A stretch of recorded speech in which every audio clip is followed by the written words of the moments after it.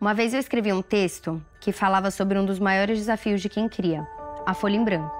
E aí, recentemente, eu comecei a pintar, então eu tive que enfrentar esse desafio de novo. Só que dessa vez foi a tela em branco. Eu até tinha uma visão assim do que eu queria no quadro. Então eu sabia que as cores dele tinham que ser preto, branco e vinho e que ele tinha que expressar a frustração. Mas eu não fazia ideia de como fazer isso. E aí, ao invés de eu assumir que me faltava técnica, o que, que eu pensei? Nossa, eu nem quero fazer isso, vai ficar uma bosta mesmo. E talvez você se sinta assim com relação ao conteúdo. Você sabe que você precisa fazer, mas por não ter a técnica, você se convence que é melhor nem fazer.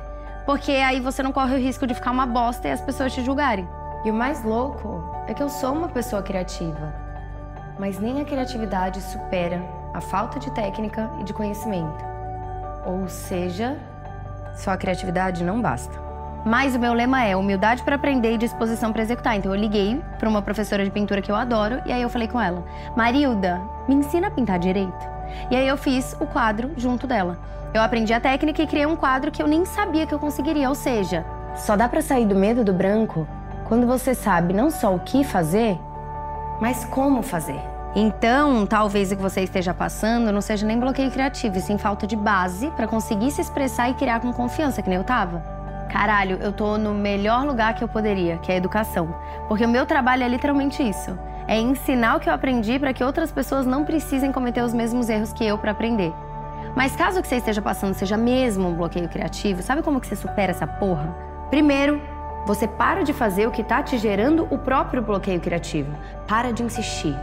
Vai escutar um podcast, ver um filme, uma série, ver o conteúdo de outra área em outra rede social porque esse estímulo diferente é o que vai te dar o clique para você sair do bloqueio criativo.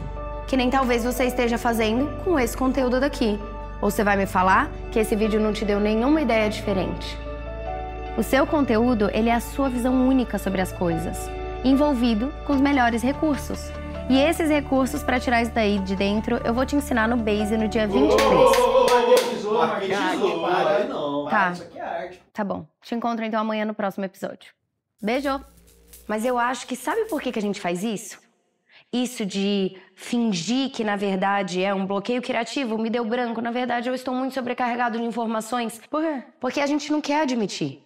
A gente não quer admitir que falta pra gente o conhecimento, a técnica, porque é trabalhoso. Saber que a gente vai ter que aprender coisas que a gente ainda não sabe. É, então. E a questão é que o processo de aprender um novo conhecimento, ele exige que a gente descubra que a gente é ruim naquilo.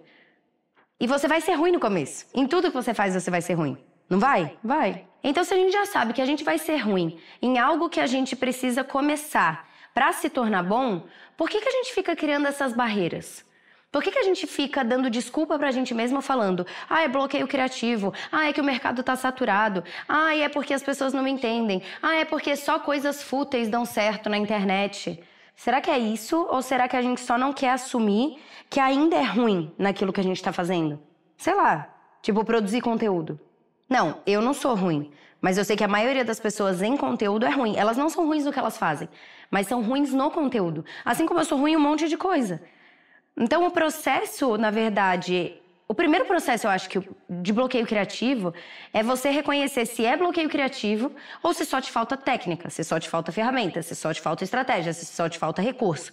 Como que eu vou pintar um quadro se eu não tenho o pincel para pintar o quadro?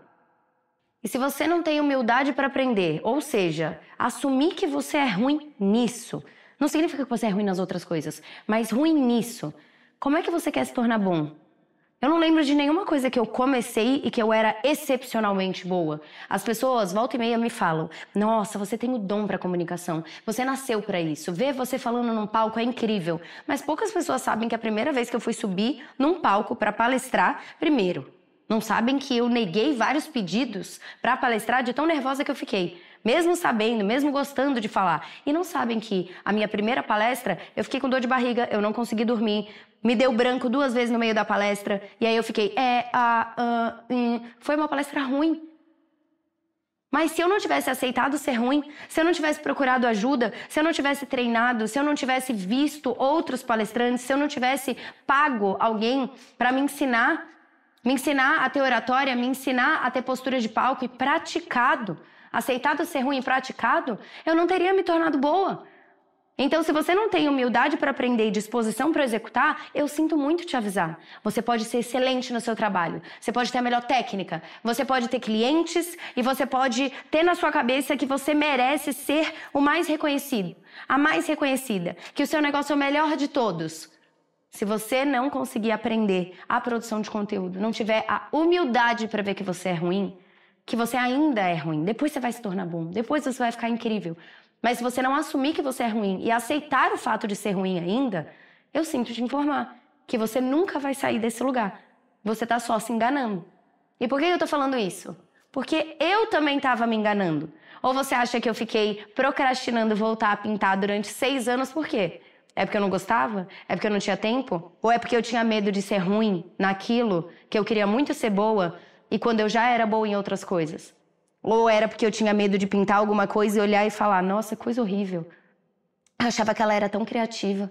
Como que ela não sabe fazer isso? E eu só consegui melhorar e estou conseguindo progredir no momento que eu aceitei que eu era ruim, tive a humildade, pedi ajuda e fui aprender com quem sabia.